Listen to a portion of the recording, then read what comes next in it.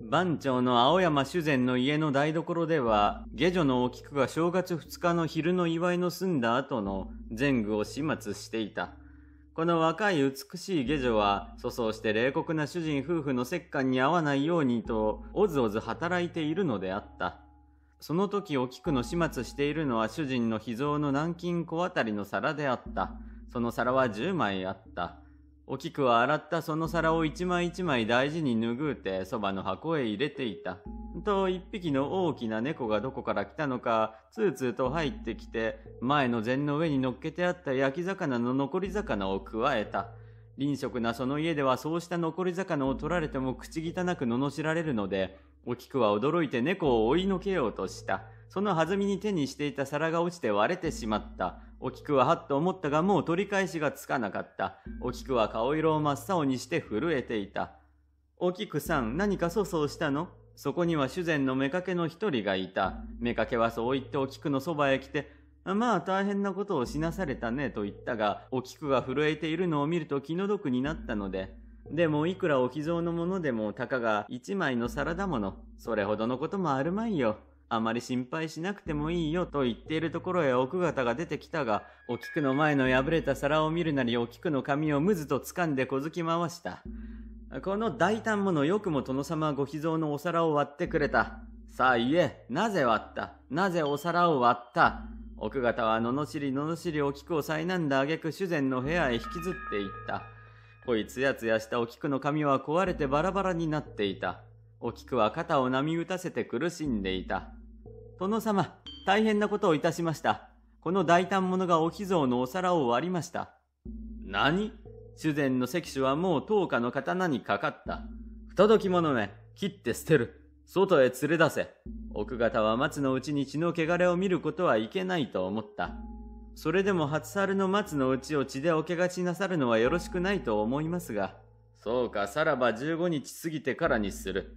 そう言うかと思うと主膳は小塚を抜いて立ち上がり、いきなりお菊の右の手首を掴んで縁側に出て、その手を縁側に押し付けて中指を切り落とした。お菊は気絶してしまった。主膳はその姿を見て心地よさそうに笑った。この女をどこかへ押し込めておけ。お菊の体は若侍の一人に軽々と抱かれて台所の隅の空き部屋に運ばれた。購買の下女たちは遠くの方からハラハラして見ているばかりで、どうすることもできなかったが、お菊が空き室の中へ入れられるとともに、皆でそっと行って介抱した。傷口を縛ってやる者、水を汲んでやる者、食事を運んでやる者、それは哀れな女に対する心からの同情であったが、お菊は水も飲まなければ食事もしないで、死んだ人のようになって考え込んでいた。そのお菊は数日して姿を消してしまった。主膳はお菊が逃げたと思ったのでひどく怒って部下の与力同心を走らせて探さした。主膳はその時火付盗賊改め方をしていたのであった。しかしお菊の行方はわからなかった。そのうちに家の者の一人が裏の古井戸のそばからお菊の履いていた草履を見つけて持ってきた。主膳は結局自分の手で殺生しないで済んだことを喜んで、講義へはお菊が病死したことにして届け出た。哀れな女はそうして主膳の家から存在を消してそのままになったが、その年の5月になって奥方が男の子を産んだところが、右の中指が一本なかった。奥方はそれを見るとお菊の指のことを思い出して血が上がった。そしてその夜からその産屋の屋根の胸によるよる女の声がした。また古井戸のあたりでは、一つ、二つ、三つつと物を数える声がして、それが四つ、五つ、六つ、七つ、八つ、九つまで行くと鳴き声になった。その古井戸からは青い鬼火も出た。黒い長い髪を振り乱した痩せた女の姿がその古井戸の上に浮いていたというものがあった。